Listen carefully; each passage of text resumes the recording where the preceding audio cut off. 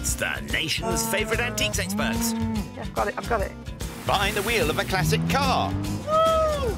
And a goal to scar Britain for antiques. Ah!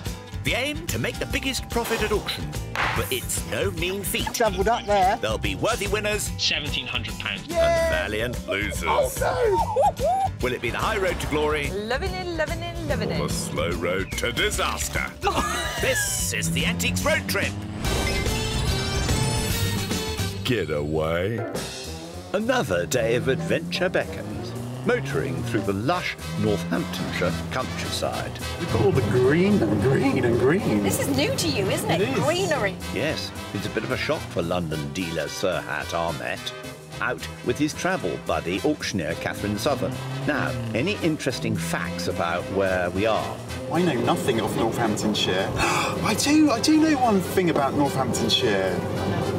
It's where my puppy came from, where my dog came from, my first dog. Maybe that's not that interesting. Only to members of your fan club, Serhat. Their carriage for this trip is the mighty Morris Million, made before seatbelts were mandatory but perfect in every other way. Why is she making a noise at the moment? What have you done to her? Nothing. That bodes well.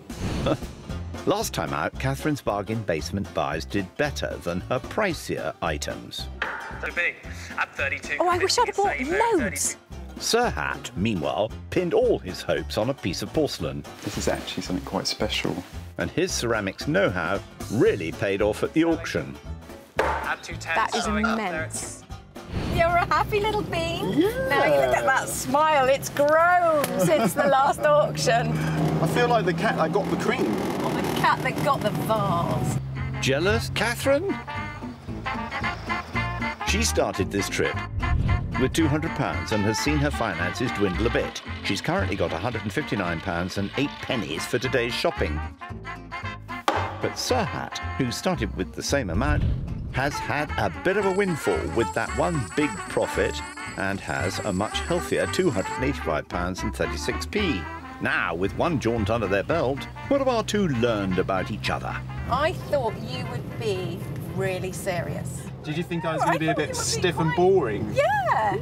Ooh, but you're so much fun. Oh, thanks. And you're just a very happy, cheery person. Now you have to say something nice about me. Choose your next words very carefully, Serhat. After kicking off in Kent on an East of England odyssey, our shoppers will be seeing the sights of the East Midlands and scooting over to East Anglia before a final auction at Nottingham. This time out, we'll be heading further eastwards, hitting the shops on the way to Newmarket in Suffolk.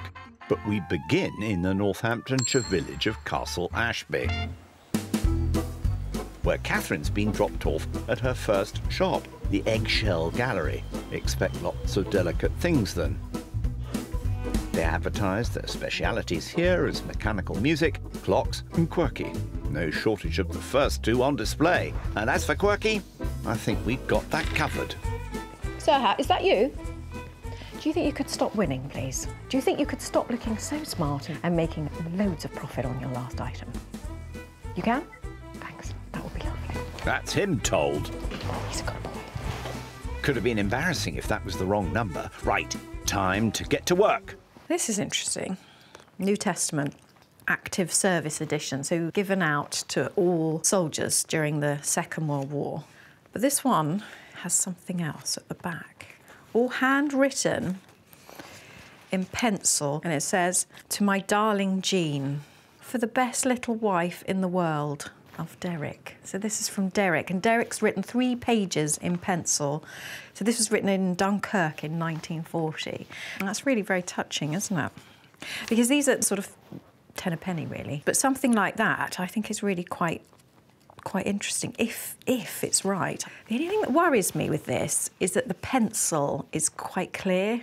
I would have thought the pencil would have been a little bit more rubbed and perhaps a little bit more faint. It's very tempting. £30 is the price on that. Have a word with shop owner John. See if he has any more info.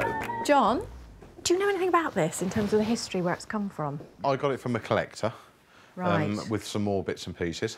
Mm. He thinks it's right. I think it's right. Mm. But obviously, there's always that element of doubt. Oh, I don't know what to do. I'm really tempted though. I do like it very much. Would £20 give you a chance? I think a £20 little punt Yeah. and let the market decide. Okay, yeah. No, that sound that sounds interesting, definitely. Let's leave her pondering that one and see where Serhat's got to. He's meandering in the Morris over to Olney in Buckinghamshire. The antique centre at Olney is where he'll be getting things rolling today. Very handy parking spot too, look at that.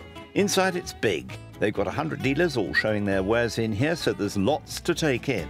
Now, given his big win on a nice piece of pot last time out, will our Mr. Porcelain head straight for the ceramics? Is the sky blue? Is water wet? Oh, wow.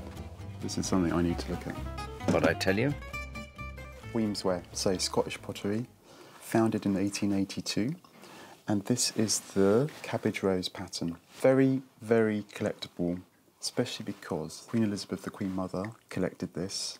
All hand painted, beautifully marked. So what do we have here? Yep, the price is 365 and that's about right. It's also out of my budget, but it's such a nice piece. One to aspire to, perhaps. I'm sure there'll be cheaper bits of china around here if you want to scratch that particular itch. Not something I see very often, actually. This is really cool. French. It's a part tea set, so there's only two cups and saucers. Probably a coffee set, actually. I've just seen the coffee pot. That's not a teapot. It's sometimes referred to as a tete-a-tete, head-to-head, two people having coffee. This dates to about 1905, 1910. So it kind of sits in stylistically somewhere in between Art Nouveau and Art Deco. And I love this cobalt blue colour. It really kind of pops and it's just so nice that it's complete. And it can be yours for £42. That's really good. This is probably going to be something I'd like to do a deal on. He's in his element here. Meanwhile, over in Castle Ashby, with that special little Bible on the potentials pile, Catherine's moved on to other things. This I like. A stationery folder. I love the cover here. This looks very sort of arts and crafts and almost a bit sort of William Morris with these interlocking shapes here and the mythical figure heads at the top. It's just got a lovely feel about it. I'd like to think that this was all inlaid, perhaps satinwood inlay, but it's not. As you run your fingers across it, there's no, it's not raised in any way, and it's not transferred either. It's a nice thing. And it's priced up at £35. There's a little bit of stationery still left inside. To have this on your desk today, that would look rather nice. I don't think anyone would say no to that. Well, in that case, it's back to John we go. John, I've had a lovely time walking around. Thank you very much. You've got so much, so many interesting items. Um, one of the things that I saw earlier, you may recall, was the Bible.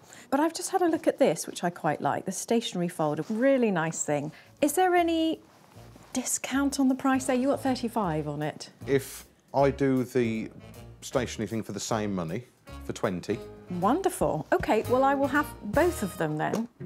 £40 all in. Leaves her with just under £120. Thank you. thank you. See you again. Bye-bye. I think she's rather pleased with those. Now back to Bucks, where our other shopper has moved on from the porcelain and is trying his hand at something else. Oh, that's really cute. Oh, going for glass this time. So this is a piece of glass decorated by Mary Gregory. Mary Gregory was a decorator in America in the mid to late 19th century, and she and her followers decorated the glass on top with enamels, hand coloured enamels. They're always of children, so that's very, very typical. Firstly, is the size, that would be classed as a miniature, and the fact that the face of the child is in different colours. So normally we just see the white, but in this case, they've used colour to achieve her hair and her flesh. So I think that's really, really cute. £35 is the price on that. I think that might be something that I end up buying. Well, there's no time like the present. You'll need to have a chat with Nick, the man in charge. Ah, Nick, hi. There you are. Hi. Got a couple of pieces. I want Okay. to ask you about. The first is a little jug. It's priced up at 35, and the second piece is to your left. There's a set in the blue and white. Yep, I think it's got 42 on the ticket. It does indeed. What would be the best price if I took the two lots. Well, that's 42. We can do that for 25. Okay. And I think we can do 25 for that one as well, That's marvellous. making 50 for the pair. Fine, you've got a deal. That's Wonderful. great. Well, that was all very straightforward, and he still has a very healthy £235 and change to play with. So off he pops, with the aplomb of a French cafe waiter. And look, someone's even turned the car around for a quick getaway. How about that for service? Now, Catherine's called a halt to shopping for the day and is turning her attention to less earthly matters. She's made her way further east to the market town of Bedford to find out how the town's largest church, St Paul's, helped to boost the country's spiritual well-being during World War II. James, Hello, lovely welcome. to see you. Local historian James Collett White has the story of how the BBC turned this 13th century church into a radio studio broadcasting to the nation and British troops fighting overseas. The story doesn't start actually in Bedford, it starts in London. Imagine the Blitz, the danger of being destroyed by bombing, and so the BBC decides that they're going to move the music and the religious department to somewhere safer. Wow. Thanks to its direct rail link to the capital and the enthusiastic petitioning of the town's mayor, the corporation chose Bedford as its new location. In July 1941, two orchestras and a host of radio engineers and other staff, around 400 people in all, arrived by special train in the town. There were a number of buildings that were used, uh, particularly for the music department. They occupied the Corn Exchange, which is just behind us, which uh, still is used for, for concerts and so on. And the Religious Services Department was going to be in what was called Studio 6, which was, in fact, the Trinity Chapel of this church. So from here, over a thousand religious broadcasts went out in the years from July 1941 to July 1945. Once it was wired for sound, Studio 6's main responsibility was to broadcast the daily service, a mainstay of the broadcasting schedule since 1928. These services would have helped immensely with morale, allowing people at home in Britain to worship alongside their family members fighting abroad. Wow, this is beautiful. We're now in the heart of Studio 6, is that right? We are, absolutely. So they were religious services every morning? Yes, they were. And when it was broadcast, it was described as coming from somewhere in England because they obviously didn't wish the German or Italian bombers to know where it was because it might have been something that they might have wished to get rid of. The crowning achievement of Studio 6's output took place in September 1941. A service as part of the National Day of Prayer was led by the Archbishops of Canterbury and York, with contributions from church leaders from Scotland and Northern Ireland. The music department provided singers for the service, and to give Catherine a flavour of the occasion, St Paul's has a trio of their own today.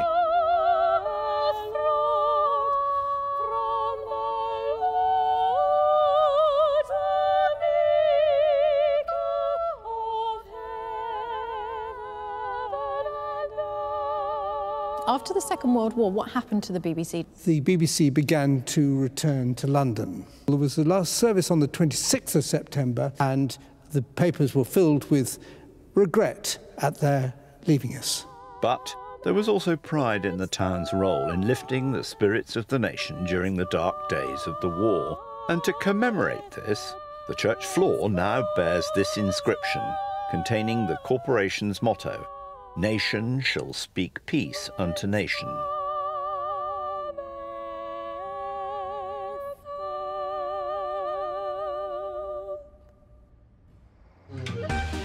Meanwhile, Serhat's motoring on. The car is just driving beautifully today.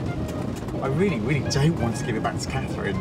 likes to be in the driving seat as our Serhat. He's also heading over to Bedfordshire, to the village of Willington. His next shop, time after time, is handily bedded into this garden centre. So, with £235 odd, he could pick up a nice Victorian jardiniere and an aspidistra to go in it, if the fancy took him. And it's all under the watchful eye of Steve the cat. Do you have lots of ideas of where I can buy an antique? Oh, okay, well, that's a reply. I think Steve's a Catherine Southon fan, actually. You're on your own, Serhat. Oh, hang on. He spotted something. Art Nouveau. Typical Art Nouveau. Fantastic motif here. It's almost like a heart shape, which is quite fitting, actually, because this is a jewellery box. Silver plated. I would love it to be silver at that price. That price being £145. Yeah, it's a little bit stained on the inside, but it's got a lovely weight to it. No key. Finding a few problems with this, but I still really love it. I just think that's such a nice tactile thing. Yeah. Let's pop that on the potentials list then and see if there's anything else. Oh, wow. That's pretty cool. Well, that took no time at all. I confess I know nothing, I mean nothing about clocks. But that's really caught my attention because of the style of it. So, really late 19th century to really early 20th century. It's got a brass face in two tones, polished so you can see the numbers, and it's all encased in this beautiful oak, is it? I would say. And if we look around the back, I'm expecting this to be a pendulum clock, that much I do know. Yep, there it is. We'll make an horologist of you yet, Serhat. That one's also priced at £145. This one really stands out to me for all the styling points. Put that one on the list too, then. And I don't think he's done with this place just yet. Lots of mirrors, lots of clocks. Nice item. Am I brave enough? hang on, hang on. Seven years bad luck, don't forget, so be careful. Bingo. That's heavy. Wow. Look at that. Beautiful. I think that's beautiful. So it's a Art Deco mirror with a black glass frame. So yeah, 1930s. I would say French or English. What I love about it is that it's not clear glass. It's not a plain silvered glass. It's this champagne tinted mirror. And it's priced at £95. That's a definite maybe. I don't think I'm brave enough to put it back up though. I might just leave it down here. Probably wise. I think it's time we had a chat with shopkeeper Sean. Sean, Yes. I found three things. So I've got this Art Nouveau silver plated box. Over there, there's an arts and crafts clock. Mm-hmm. And then there's the Art Deco mirror with the kind of champagne tinted. Yeah, I took it off the wall for safekeeping. Yeah, okay. I think I want to buy two of the items, but tell, tell me what you could do. Let's start with that box. The best I could do on that would probably be 125. Similarly, on the clock, drop that down to 125. And the mirror, the best I could probably do on that would be 85. I'd really like the mirror and then, I don't know, the, the clock probably, more than Yeah. the box. That's still a hefty £210. Brace yourself, Sean. I'm gonna be, I'm cheeky. I'm gonna be cheeky. I'd really like to pay 175. Does that work? And that's really pushing me a little bit. But 180 and you've got yourself a deal. Excellent. I'm gonna count some money out. So that's 110 for the clock and £70 for the mirror. And once he's finished shelling out all that cash, let's go and pick up Catherine. And he should have come up with a compliment for her by now. You're very earthy. I'm earthy. You're a good soul. I'm earthy. You're an earthy good soul. It means one with nature, natural, Earthy. Mother Earth type. I'd stop digging if I were you, Serhat. Nighty night. We're up bright and early and find ourselves in Cambridgeshire.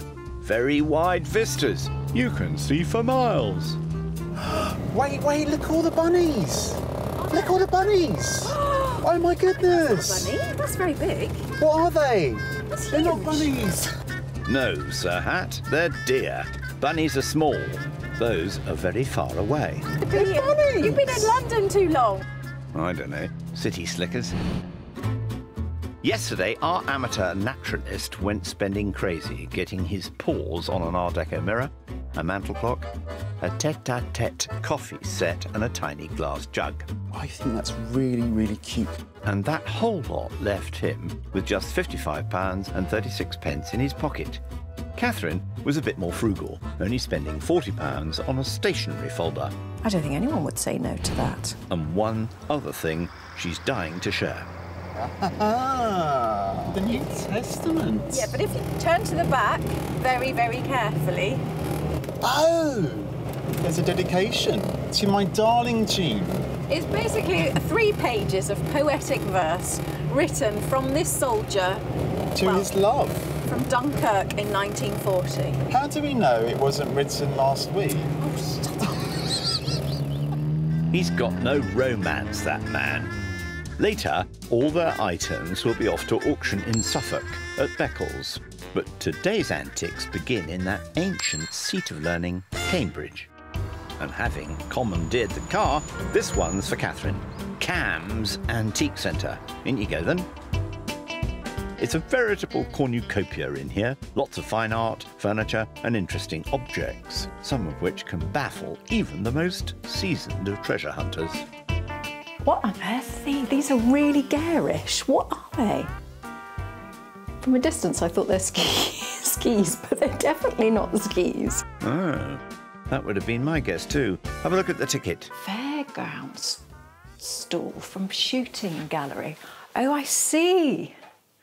So when you've got your coconut shy or your shooting gallery, you know, the shoot a duck or something like that, this would be around the outside. This would be the sort of framework, I suppose. This sort of fairground memorabilia can make ridiculous amounts of money at auction. What's, what's it got on it? Oh, 225. I haven't got that much, have I? Not even close, girl. I think you'll have to roll up and try your luck somewhere else. Something smaller, perhaps. These are right up my street. They look like they should be drawer handles, but they're not. That's fabulous. These are actually bell pulls, and so you'd pull the handle down like this, and then it would ding, you rang, my lord. That is very cool. I could do with those at one o'clock Towers. You've got this sort of raised acorn motif with the oak leaf behind, so real sort of regency. And then either side there, you've got the double eagle's head. I really like these. Very affordable too. £16 is the asking price. So if you had one of those old-fashioned toilets, you know, with the cistern above, and then you could have them attached to the cord that you would pull, that would impress your guests, wouldn't it? No matter what, these are definitely being bought today. Fabulous. I think she quite likes them then. Now, what else can you find? These are cool. These are very cool. Do you know what these remind me of? Looking at them from a distance, they remind me of jelly moulds. I'm thinking Victorian jelly moulds, but they're actually a pair of bookends. Mahogany bookends. Late 19th century. I love those. I just love the shape of them. I love the fact that they make me think of jelly, and I love jelly.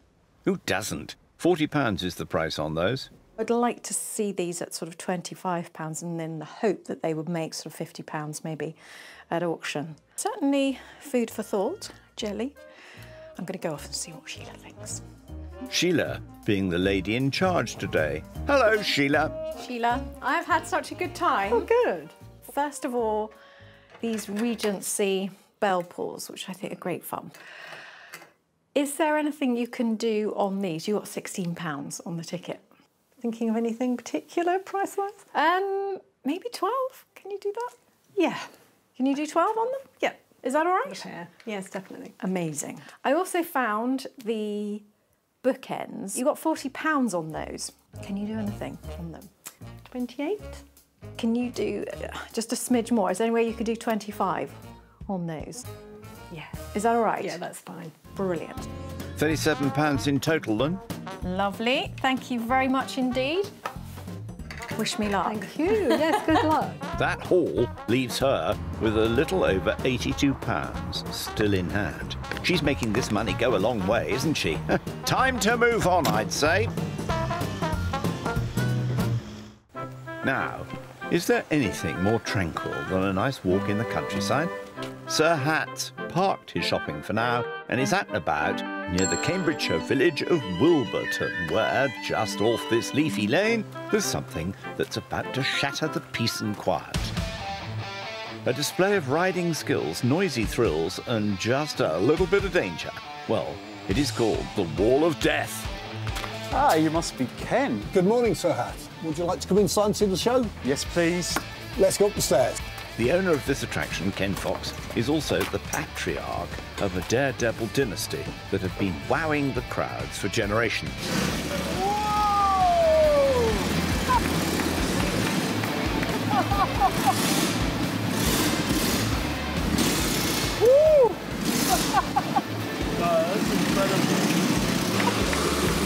that's bonkers. That is bonkers. Defying gravity on two wheels has been in the blood of Ken's family since his grandfather first rode the wall in 1931. But the history of this spectacle goes back even further. The very first parts of the Wall of Death was board track racing in America. So they had big, big circular board tracks. And they got steeper and steeper as they went round the corners. So in 1913, they still had steep tracks. But by 1920, they built these vertical walls and toured around and it became a show instead of just a, a normal race. And around America, there was a lot of wall to deaths, or silodromes, as they was also called. So when did it become popular in the UK? First landed on the shores of the UK either 1928 or 1929. Back in the 1920s, early 30s, to have a motorbike or a motor car in your town or a village was quite a feat. To see one on a, a vertical wall, that was unbelievable. With early riders such as Billy and Marjorie Ward pulling in the crowds, these shows were real money spinners. By the late 30s, there were over 40 walls of death around the country. But with fairs closed down during World War II and the walls being stripped of wood for the war effort, most of these travelling attractions went to the wall, literally. But Ken's family got back in the saddle and carried on riding. So my granddad rode, my father rode, my uncle rode, my, my grandmother also rode for a short period of time. I ride, both my children ride, both my daughter-in-laws ride, and my niece rides. So, so uh, we, we've got quite a long, long historic part with it. How old were you when you started? I was 15 when I started, but my two boys, they were 11 when they started. 15. I mean, that's just incredible. And my dad, he's 74, and he'll still come down and ride. okay. It's definitely in your DNA. Yeah, yeah. And it's not just the family. Some of Ken's bikes go back a long way too. The earliest Indian we've got is 1921, so that makes it 100 years old this year. Yeah. Properly in the antiques rotary. and the Indians were built with a left-hand throttle for the American police force so that they could pull the gun with their right hand and shoot the gangsters.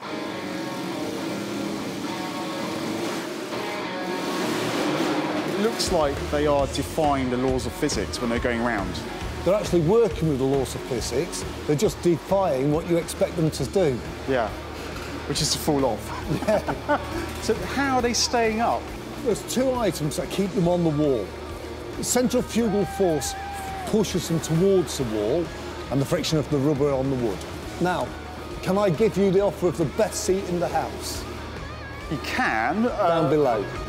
Rather you than me, Serhat. Wow, looks great from down here. If you're going to stand inside, don't get dizzy. Okay, I'm going to stay right here though. Okay. I'm not coming up with you. And don't forget to breathe in. Sadly, these spectacles of speed didn't get a revival after the war. There are now only four remaining walls of death left in the UK, and Ken owns two of them.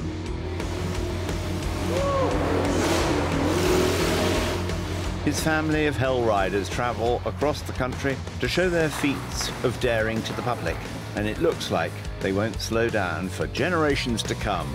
Bravo!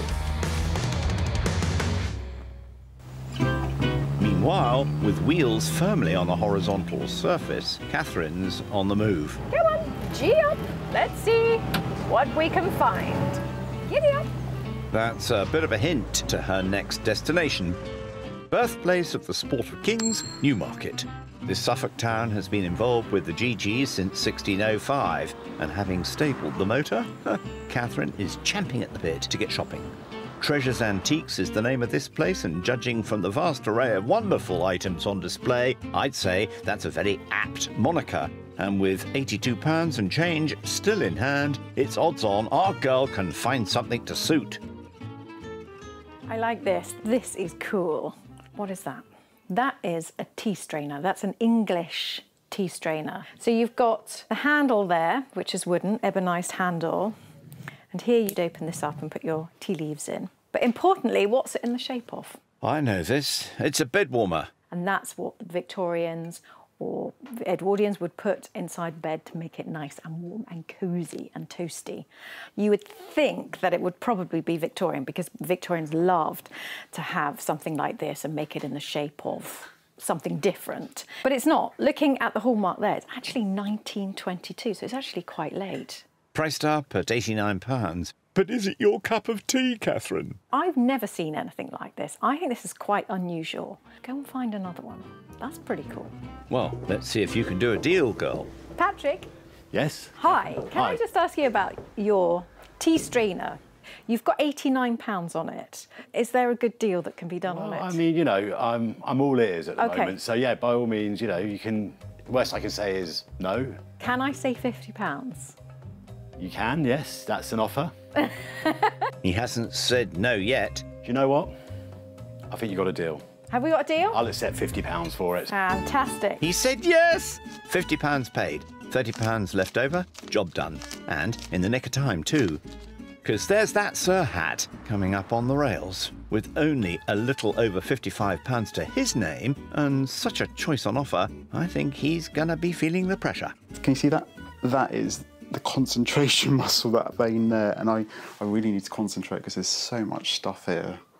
I just want to find that one thing that's going to give me a nice little profit. Oh, he's so tense. At the other end of the scale, with all her shopping done, Catherine has time for a mooch about. We've got a lovely selection of jockeys racing silks. And when in Newmarket, the home of horse racing, come on, I've got to get this on. It would be churlish not to. Green's definitely your colour. There we go. I think I'm all ready. We need to saddle up and go and find the horse. Good luck with that. I think Serhat is looking to find something a bit smaller. Oh, Hang on. That's far more interesting than a cup and saucer. I like that. But hang on, there's two. A pair's always better than one. Cafe, coffee, and lait, milk. Silver plated, and they're English, but inscribed in French. So they were made for the French market. Perhaps for a cruise liner, perhaps for a train running through France. Who knows? But look at the style. I think they're just absolutely glamorous. I love them. But at £79 for the two, they're a bit out of your budget. If I smile a lot, if I'm a little bit cheeky, Patrick might let me have those for £55 and 36 pence. Time to turn up the charm. Patrick! Look what I found. Lovely, good choice. If I say to you, the ticket says £79, Okay. can you do it for £55 and 36 pence? Well, it's a little bit of a knock because they are a nice pair, but I want you to walk away from here with something, and so £55 and 36p, you've just bought them. Good. Let's give you some money. Lovely. Well, that's wiped him out completely. But I think we're off to the races. Isn't that right, Catherine? I don't know what to say. I don't. So you love it? Give us a 12. Number 12. Oh, very nice. I like the little bow at the back. Lovely. I'll race you up the stairs. Come on then. Lordy, you do know it's time for shut eye, don't you? Oh well. Now, after all that terrible, grueling shopping, there's nothing like a trip to the seaside to clear the cobwebs and to watch an auction. Race you to the Dodgem. Race ya. Oh, look at this! Oh, you really are racing? Yes! I think someone's overexcited. Having started out in Northamptonshire, our pair have hit the pier at Clacton on Sea in Essex for some fun and games. Their purchases have carried on up to Suffolk and the town of Beccles. Durrant's Auctions is where the action is, with bids online, on the book, and on the phones. Serhat spent his entire £285.36p on five auction lots. Let's find out what the auctioneer Nicholas Rudge makes of them. The Arts and Craft 8-day clock. It's a Wittenberg in good condition. Uh, we think it'll do well. Time will tell how it goes. Oh, very good. Catherine was a little more cautious, spending just £127 on her five lots. Any prizes in there, Nicholas? The Soldier's New Testament from World War II. Without the inscription, it would, would hardly sell. It would make very little money. With inscription, we expect, we expect it to sell pretty well. So, will this be a roller coaster or just swings and roundabouts? Better strap yourselves in. Serhat, this is the best. Absolutely fantastic. I can't Believe this. This is a great idea. I'm very happy.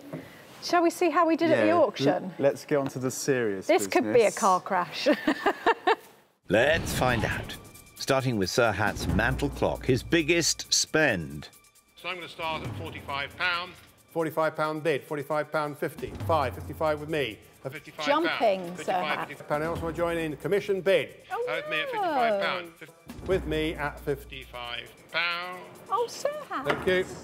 Well, half your money back is better than nothing back. That's a very positive spin on quite a hefty loss. There's plenty to play for. More things to go for. Oh. Right, what's next? That'll be your stationery folder, Catherine. Let's see if the auctioneer can push the envelope. £10 bid, a £10 12. £12, £12 50, 15, 15. Your bid at 15, 18, Oh, no, come 20 on. now. 18 then. I thought that was really cheap at 20. 18 pounds. Thank you. That's even cheaper at 18. Yes, nothing to write home about, was it? Well, someone's just got a lovely bargain. oh, oh well. mind. Let's see if Serhat's Art Deco mirror can show a profit. £30 somebody. £30 bid, a £30 5, 35, break a 35, mirror. 35, 35, 40, £40 pound. £40, £40, 5 That's not like. bad. 5, 45, 50 if you like. 50, we made 50. Last chance at £50. pounds. Do you know what? I think that's a good price. Well, you would. It wasn't your item. Is it going to put you off buying mirrors? Maybe. Next up are those mahogany bookends. Anyone else hankering for a jelly about now? Tenner anybody? Five of them. Anybody a Oh, fiver? God. £10 bid, a £10 12, 15, 15, 15, 18, at £18 20 if you like. At £18 you sure? Going to sell? They're worth more than Last chance 18 pounds. At £18. Ooh. Thank you. Oh, my goodness me. That was hard. Neither of them is having much luck today, it would seem. Oh, well, It's all right, I suppose. Hmm, not really. not really. Chin up, surely Serhat's milk and coffee pots will put a pet back in your step. £30. £30, 20? No? You surprised me. Yeah, £20 bid. A £20, £20, £20. The maiden bid at £20. Anyone else want to join in? £20. Two? 22. Thought you might. £22. 25. 25 pounds. 25. Last chance then at 25 pounds. Thank you. Call the police, Catherine. I will call the Someone police. Someone has stolen my What cafe au lait pots. No, bought fair and square they were. Just not the price you wanted. It was a gamble. it was a gamble, by the looks of things. I applaud your gamble. Well, coffee didn't do it. Let's see if tea fares any better. Catherine's novelty strainer. Lovely little item is two. Start me £50. Somebody 50 Please. £30 then, surely. No £30? £20 surely. £20 bid, 5 30 £30 5 40 £40 £40 £40 5 anywhere, you sure then? Please? Last chance. Come on. sale. Thought it'd make more. No. At 40 I thought it would make more. Thank you. Oh, that hurts. It's really not going their way today, is it? That's six straight losses. Maybe all the bed warmer collectors were still in bed. Ah, that'll be it. Now, Sir Hat's little Mary Gregory style glass jug. 10. Whoops. Anyway, tenner. Tenner. No. Fiver then, surely. Oh, come on. Fiver. Yeah, five pound bid, eight, eight pound, ten. Ten pound. twelve anywhere now. A ten pound, This is ten a really 10 pound, 10 unusual pound, thing. pound. Isn't it? Ten pound last chance, gonna go then. Fair warning at ten pound. Thank you. The hammer went down and my heart sunk. Oh, Sir Hurt, I think some kind words are in order, Catherine. Uh, I'm sorry for you on that because I think that was that was a good spot. It was, it was. I thank you. Right, come on, Catherine, your Regency handles have got to ring somebody's bell. Thirty pound if you like. Thirty, twenty, ten. Oh gosh! Bell pulls there for a tenner, surely. Oh please, I don't want to jump off the roller coaster. 15, 15, 18, 18, 18, 20, 20 pound. 20 pound, 20 pound, 20 pound, two if you like. Two, 22, 22 pound, a 22 pound. Oh come on! I thought they'd make more than that. 20 sure, 22 pound, five, 25 just in time, 28, 28 pound, fill it up to 30. Come on, pull it up to Come on. 30. Pull that bell. 30, last chance, I'm going to sell them then for 28 pounds. Thank you. Oh, I'm pleased, but I thought they might take off. They, they, they look like they would. Well, at least we finally have our first profit. Hooray! You more than doubled. Yeah, no. I, So I'm, be happy. I'm pleased with that. Serhat's last hope for success will his tete-a-tete coffee set turn any heads? I've got commission interest here to clear the sheets. I'm going to start at 40 pound. 40 pound in. You've made a huge profit already. Kind of. Five, 50, 50 pound with me. Commission bid at 50. At 50 pound. 55, you've beaten me. Come on. Your bid online at 55 pound. Come on, come on, come on. 55 pound at 55, 55. pound. 60 That's if you like. brilliant. Last chance and away online at 55 pound. Thank you. I think that's really good. Given his current run of luck, I'd say it was amazing. I think I should stick to ceramics. stick to what you know, Sir Hat. You obviously do it very well, Serhat. Well, Well, that's a fantastic result. Thank you. And finally, Catherine's chanciest item, her World War II Bible with an inscription. Will the bidders buy in to Derek and Jean's love story? I want to believe in it. I want, I want to believe that there's romantics out there as well. Yeah.